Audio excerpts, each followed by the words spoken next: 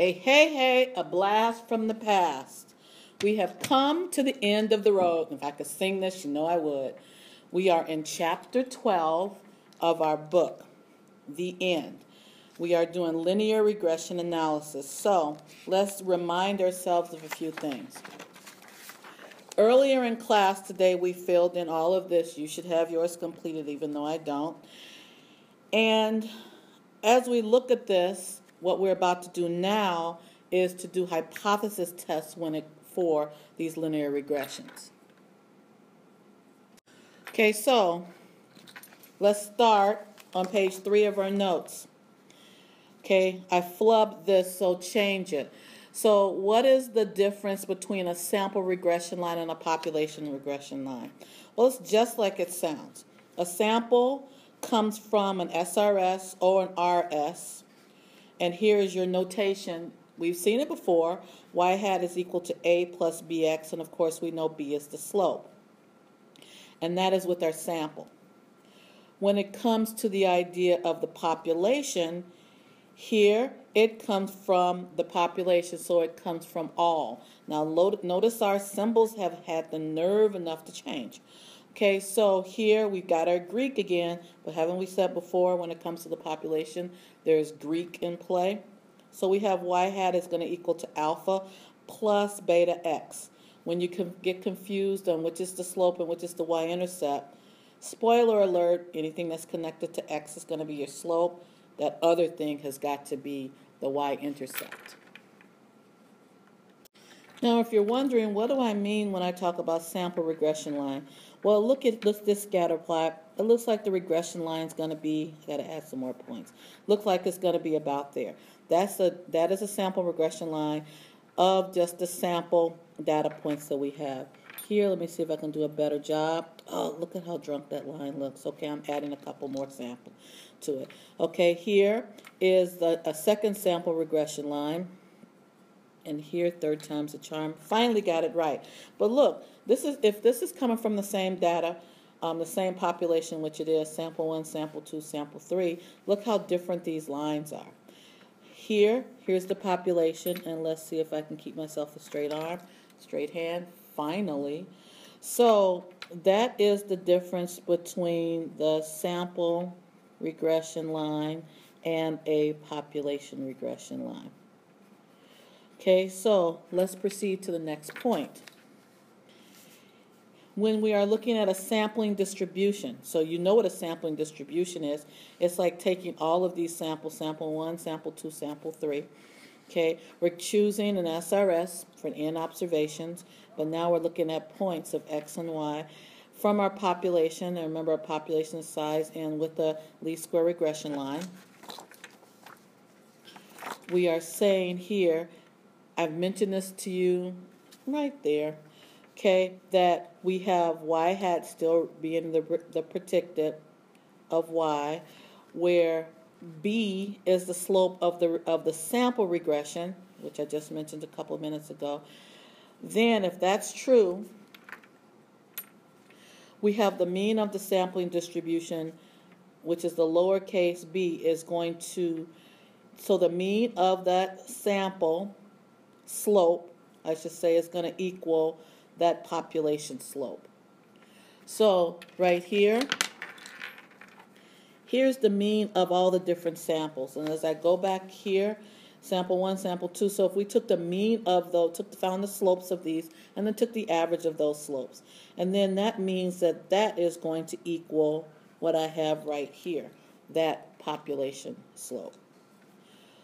Another thing that we know about this is the standard deviation. Ah, we have a new equation. So we're talking about the standard deviation of the slope.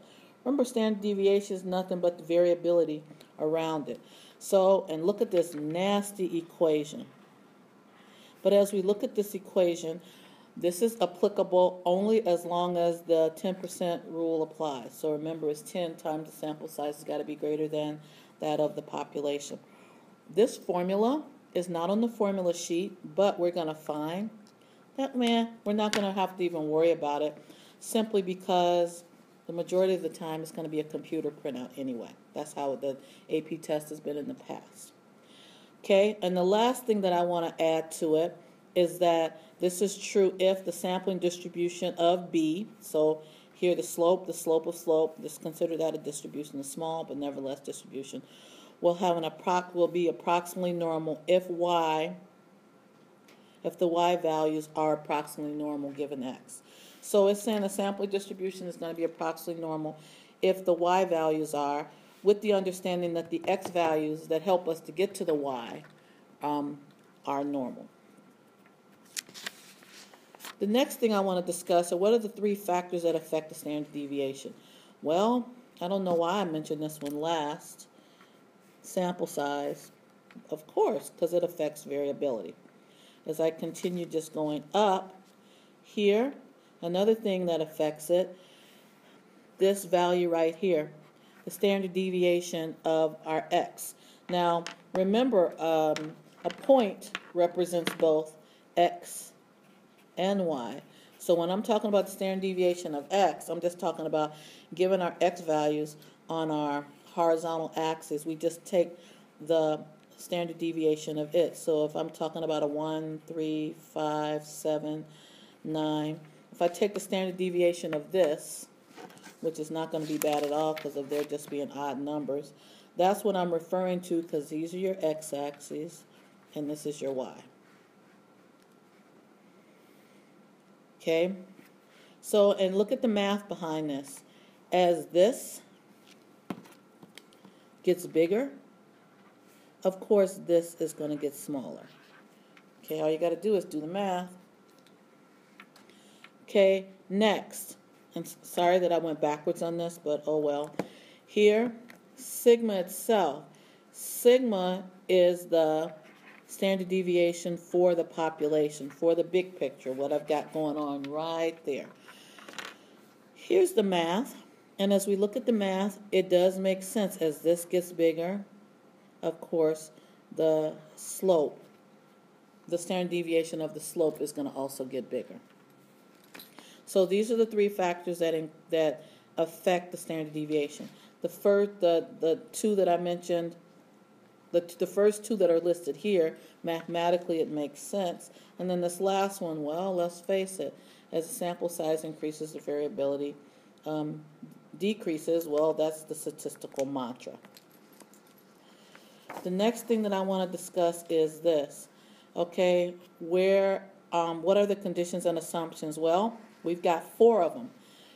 It makes sense that if it is a linear um, it makes sense that if it's a linear relationship that we are determining, that one of the conditions and assumptions when we're coming up with our confidence interval and our statistics test is that it's got to be linear. Okay? And remember here, the true regression line is represented by this equation. So that's your population regression line. So that's one criteria. Another criteria, well, hasn't it always been that way? The 10% rule, unless it's some type of experiment, of course. Okay. Also, our observations um, are independent of each other. Here's a new one equal standard deviations. Well, the standard deviation is got to be the same for all values of x. Okay, so the standard deviation of y has got to be the same for all values of x. And I'm going to show you an example on that. Matter of fact, let's jump to the next page. Now look at this right here, number one. My question is, look at all these uh, scatter plots and how you have all these points that are dangling around so close to the line. Then all of a sudden you've got points here, here, here, here. Now we're going to discuss this tomorrow, but my question is, is the standard deviation, which is basically the distance away from the regression line, and that's a residual plot that you've got going on right there. Okay, are those equally distant here and here? Eh, let's discuss that tomorrow. Okay, our next thing Okay, so I've mentioned four things. Let's go back and mention the fifth, fifth one. Random sample um, and random experiment? Well, the bottom line is that, yeah, we know that's true. So my next point or question is, let me expand upon we know that's true. Let me say it a lot better than I just did. Randomness and increasing sample size is what's important about statistics. So, of course, we need to have a large enough sample size, but if it's not a random selection, unbiased selection, then you know we've wasted our time. Okay, next. My next question is what is the first step of an inference? Well, here we have to determine the unknown parameter. Isn't that the steps of the inference every time we do it? Yes, it is. Okay. B has got to be an unbiased estimator for the true B. So what happens is for our hypothesis test with this, we're going to find that our HO is going to be beta is going to equal 0. And here when we say beta is equal to 0, we're not talking about the slope is equal to 0. We're saying that. So what I was saying again is that this this statement right here is saying that there is no difference in the linear relationship. And the reality is, I know as you're hearing that, that doesn't make a lot of sense. But it makes more sense when we're looking at the HA. And we're going to talk about this in a lot more depth. We're going to be doing this section probably in two days. But here, as we have beta, and let's say that I'm looking for is, is um, less than. Here, if we reject this, which is the more the, most of the time what happens, we're going to end up supporting this, which is saying that in this particular case, our slope is negative. Or our slope is, well, in this case, it's just going to say our slope is negative. So, or it could say we've got convincing evidence that it reduces that this, the slope is, um, it does reduce. So this right here, this HO, is not as important, or the explanation of this doesn't make as much sense as the idea of we re, re, we reject it and we take it here. And the only reason that I went into this was just to remind you of what our first step of our inference inference is, determining the unknown parameter. And our unknown parameter is always going to be the beta. Now, let's go to the next page. Page 5. You know in everything that we've done, before we've done the inference test, we've always started off with our confidence interval. So here's our confidence interval, generically speaking. This is what's on your books. And in your in your on your formula sheet, that's a better way of saying it. Here is the confidence interval for the um, test statistic for the t interval for the slope. And I said for the test statistic, so let me correct myself. The confidence interval for the t interval for the slope. Your slope plus or minus t star, and here is what? Your standard deviation of the slope. Your standard error. Here, here's our formula for the standard error. Now, the problem is what I just circled. That is not on our formula sheet. This is what's on our formula sheet. And what they've done is they've replaced this for that S. And I know your thoughts are, seriously, we're going to have to memorize this mess? I'll say it again. In most cases, 99.9% of the time, if not even, I want to say 100% of the time, they've given us an output analysis. Yes, they will give us this formula somewhere in the equation, but they won't give it to us in the formula sheet, but they'll give it to us as a part of the test if this does come up. There's a couple of problems that I found in the test that I want to um, we're going to be discussing when it comes to this. Lastly, I want to talk about the confidence interval calculator, and this is something that we are rarely going to be using again. Why? Again, the computer output is what's going to be given to us, not any raw data. Okay, so when we look at this right here, and if you go to,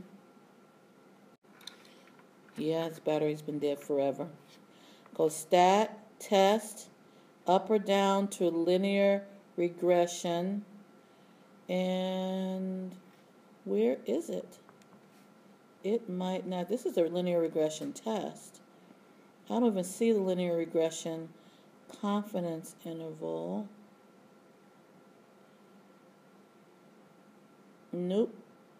Nope. Am I blind? Nope, and that's not ANOVA. ANOVA's analysis of variance. Okay, so this is an 84 thing, and I don't have an 84. Go over to stat, test, linear regression, and then what they're going to do is tell you um, L1, L2, so that means raw data was put in there. How are we going to do it, um, ladies and gentlemen that have 83s and 83 pluses? Again, we don't have to worry about it because just like problem number six right here, it's going to give us a computer printout. So I want to end this thing because it's taking way longer. I'm going to cut it short. Bye bye. End of the road.